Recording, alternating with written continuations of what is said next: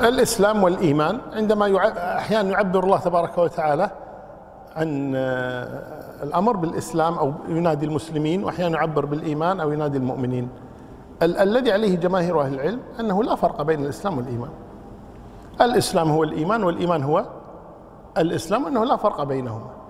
وأن كل مسلم مؤمن وكل مؤمن مسلم. لا فرق. ولكن أحيانا يعبر بكلمة الإسلام وأحيانا يعبر بكلمة الإيمان.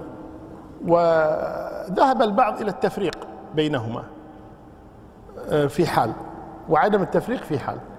يقول إذا ذكر الإسلام وحده يدخل فيه الإيمان وإذا ذكر الإيمان وحده يدخل فيه الإسلام. لكن إذا ذكر معا دل الإسلام على معنى ودل الإيمان على معنى آخر. قال والإسلام يدل على الأعمال الظاهرة والإيمان يدل على الأعمال الباطنة.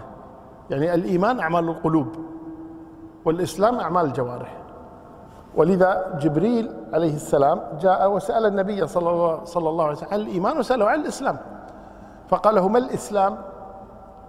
قال الإسلام أن تشهد أن لا إله إلا الله وأن محمد رسول الله وتقيم الصلاة وتؤتي الزكاة وتصوم رمضان وتحج البيت.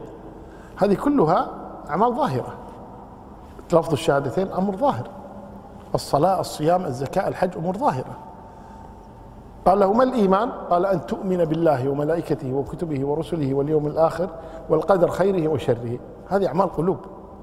قالوا ففرق بين الإسلام والإيمان. وكذلك لما جاءت الأعراب يقول الله تبارك وتعالى قالت الأعراب آمنا قل لم تؤمنوا ولكن قولوا أسلمنا. ولما يدخل الإيمان في قلوبكم. قال فالإيمان درجة أعلى من درجة الإسلام. ولذلك يقول الإسلام ثم الإيمان ثم الإحسان. فالإنسان يكون مسلما فإذا قوي دينه صار مؤمنا فإذا قوي دينه صار محسنا. فيقولون ال ال ال خلينا نقول يسمونها إيش؟ يعني الإنسانية دائرة كبيرة جدا. الإسلام داخل دائرة داخل الإنسانية. إنه ليس كل إنسان مسلم. المسلمون أقل من الكافرين صحيح ولا لا؟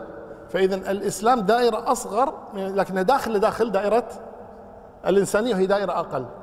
ثم المسلمون بعضهم يكتفي بالإسلام بعضهم يزيد في الطاعة ويقرب من الله حتى يكون مؤمنا.